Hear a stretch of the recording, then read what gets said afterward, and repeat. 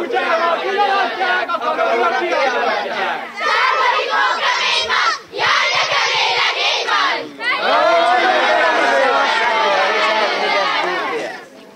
Hogy a legények erején a vád ne érje semmit, lassú fogásolást fognak táncolni.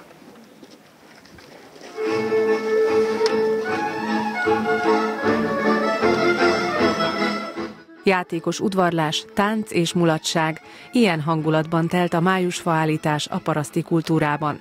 A tavaszi ünnepkörhöz tartozó, széles körben elterjedt szokás területenként is nagy változatosságot mutat. A Sóstói Múzeumfaluban a közösségi hagyományokat elevenítették fel a nézőknek.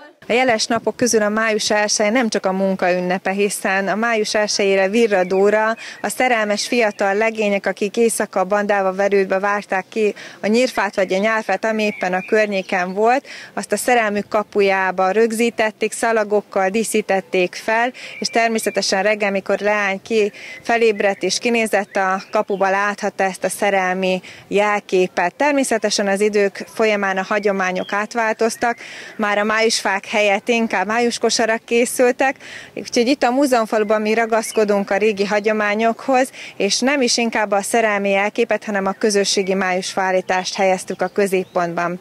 Ugyanis a falvakban ilyenkor május 1-én fölállítottak egy közösségi májusfát, és egy táncos mulatsággal végződött ez a nap. Természetesen arról nem volt munka, és mindenki lazított, és természetesen a népi gasztronómiák voltak azok, ami előtérbe kerültek. Így húzták fel a legények a feldíszített fát, amit ha a rivális legények nem pontották el idő előtt, akkor akár több hétig is állhatott. Sok helyen pünköstkor rendeztek mulatságot azért, hogy kitáncolják a májusfát. Ez a Sóstói Múzeum faluban is így lesz.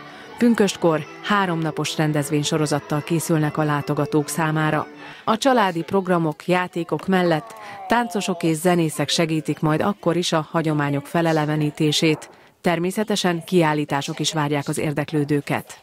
Egyet elárulhatok, hogy mióta van Hungarikom kiállításból értéktáras kiállításunk, eldöntöttük, hogy az öt néprajzi tájegység értékeit bemutatjuk egy-egy alkalommal, úgyhogy pünkösd vasárnapján a beregi tájegység értékeit fogjuk bemutatni. Lesz egy portagazda, aki végig vezet bennünket a beregi tájegységen, és bemutatja azokat a Szabolcs-Szatmár Bereg megye értékleába szereplő értékeket, amik arra a tájra jellemző jellemzőek, legyen az épített örökség, néprajzi hagyomány, vagy pedig ö, olyan ö, szokás, amit már elfeledtünk.